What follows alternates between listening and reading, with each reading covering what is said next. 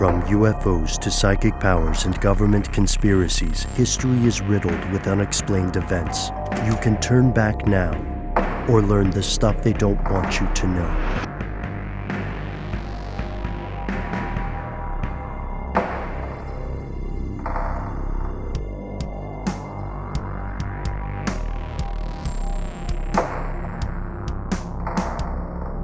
I suggest maybe we we travel to to the United Kingdom first because there's something really interesting that happened here. I, I don't know if anybody's experienced this in your personal lives, uh, but you've probably seen this scene in countless films and countless television shows where someone says, uh, "Hey, uh, are you, you know, are you Mister Noel Brown or hey, are you Mr. Matt Frederick? And then you say yes, like a sucker, and they go, You've been served, and they hand you papers. or they just do like a really hot dance move up on you and they say, You got served. That's the Yes. Yeah. Yeah, that's a better service. You you do have to pay a premium to get people served that way. They're like a Yeah. singing telegram at that point. But uh, but Combining the two is the best. Right. But get it, you know, it's like a little bit of uh it puts a silver lining on things. But it turns out being served is a, a real process. And it's uh it's something that maybe is a little misunderstood in the world of Western fiction, I would say, because if you've never had a legal experience with this, then it sounds like all you have to do is never tell a stranger your name, right? Never admit who you are and just uh, be ready to run away. But I think it's it's not that quite that simple. Just for uh just for comparison, the U.S. Uh, Yeah. there is a thing where you can if if you're getting stonewalled by the person you're trying to serve, but you know they are in regular contact with someone like a spouse or a child or whatever, then you can serve that person instead, and it still counts. So Ah, I didn't know that. yeah, Well, yeah. Um, in this case, I don't know exactly how it works with British law or with with uh, law over there in the UK. Uh, but and, and you know what, Ben? I actually see this what we're about to talk about. It's more like from Prince Andrew's perspective. It's more like thinking you're you've finished the film, you've conquered whatever the antagonist is uh-huh. if if the protagonist in the story is Prince Andrew, Yeah. you feel like that that's over, and then all of a sudden, it's back. the The person is back, right? Uh, wakes up from whatever they were knocked out or something. it's even enough to make him sweat, right? Yes, exactly, and I think that's a very good thing in this case. Not only equating it in that way because the horror movie genre does this a lot. Um, Prince Andrew was a part of many of the allegations that were against Jeffrey Ep- Epstein. At least he took part in a few instances within the saga that is Jeffrey Epstein's uh, sexual abuse and human trafficking uh, thing. God, I don't even know how to say that. But It's a conspiracy. it's a, a huge conspiracy and just a, a terrible, terrible thing that went on for a very long time. And Prince and- Andrew was accused specifically by a person named Virginia Roberts Giuffre. I don't know how to say that correctly. G I U F F R E. And there, you've likely seen a picture of Prince Andrew and Virginia together that it circulated a lot. It's when she was very, very young. The two of them are posed together. You can find that picture. She has been attempting to hold Prince Andrew to account for his actions, stuff that occurred when she was underage. And she's been trying to do that for a long time. You know, her her allegations are that when she was 17, she was sexually assaulted by the prince as a part of Jeffrey Epstein's whole thing. And the the issue they've been dealing with is attempting to officially serve the prince these papers, like Ben was alluding to at the beginning of this story.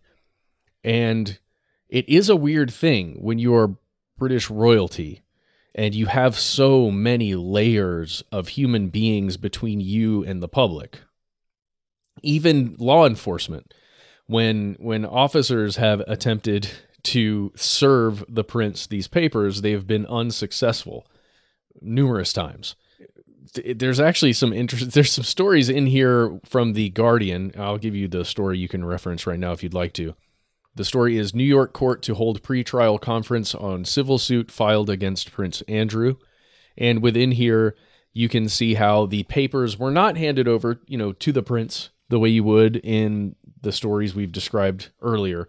It they were handed to some metropolitan police officers who mm-hmm. were at the gates of a property in on which the prince was hanging out, uh, where he was located at the time, and that occurred on the 27th of August. And just another piece of info here: a group called Blackfords. This is a law firm that, according to uh, the Guardian, is representing Prince Andrew in quote certain UK matters. Um, they question whether or not these papers were served correctly because they went to a police officer. But it's not as though, you know, you're walking up on a highly guarded property. You could just walk up, you know, past the officers, past the private security, whoever else is there, and just hand papers to a literal prince. Be fun to try. You know? yeah. like how would you get in how would how would you how would you uh how would you do that reverse heist because you're delivering something instead of taking it uh You just dress up like a caterer. Mhm. No, I'm just joking. I don't. I don't know. I don't dress up if the old new jersey trick is to put on a construction helmet an orange vest have a walkie-talkie and be loudly complaining into it as you stroll by security right Yeah, exactly. Like, Vinny, I told you it's a four. It's four. You're looking at the wrong. You look at it. No, it's it's a it's a four by two, not a two by four. It's a, excuse me, Christ, these guys. You know, like oh that. wait, is your name Andrew? You got. You've been saved. You've been been s- saved. saved, and then drop the accent and be like, "Good day, sir." I'm trying to think of other of other cartoony examples of that. It's a thing. It's a joke you see in lots of like TV shows, or maybe there's a character. No, I know what it was. It was uh, what's his face? Um, Seth Rogen in I believe Pineapple Express played a guy whose job it was to serve people with papers, and he is always donning different like weird disguises in order to do it. Like I think he serves them to like a doctor or something, and puts on scrubs or something to like you know pose as like a whatever, like a, a surgical assistant or something like that. But it's definitely a pop culture thing that to get no one wants to be served, so to do it you got to sometimes be a little tricky. Uh, obviously, these folks were not tricky enough. That's the idea. But this um this it's interesting what you're mentioning about Blackfords, Matt, because I was I was following that closely. This is something that I think is is worth discussing in future episodes, but it, it occurred to me earlier this weekend. What's the difference between a really high priced lawyer and just a regular run of the mill lawyer or law firm if the law is indeed just and equal? Right? If the mechanisms are the same, why do you have to pay one group more? Uh, what makes Blackford so special?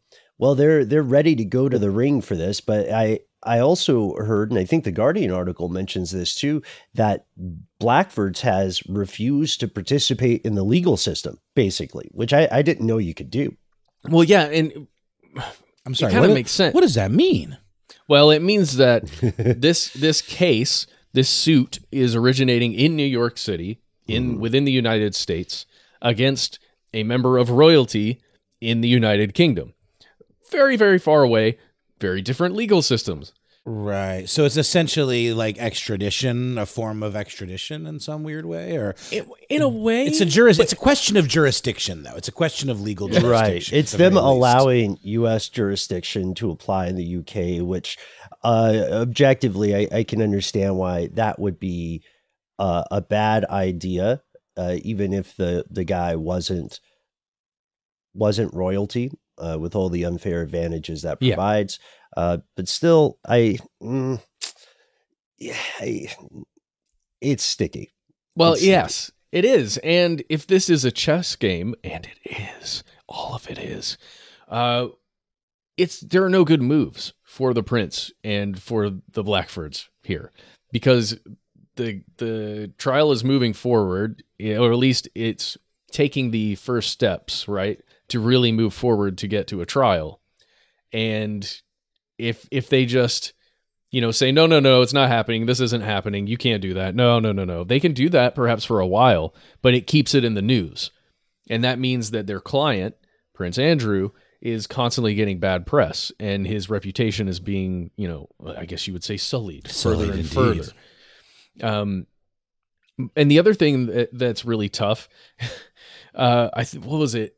Uh, when Prince Andrew was when they attempted to serve him, I don't know exactly what was happening, but uh, when they were seeking comment, I think when the Guardian was seeking comment or something, uh, they found that the prince was at this place called Balmoral, or I don't know how to say that correctly, B A L M O R A L. It's uh, the Queen's Scottish estate. Uh, he was there, and according to the Guardian, he was having a shooting party Oh, over the weekend. oh, of now, when you hear shooting party, what do you think?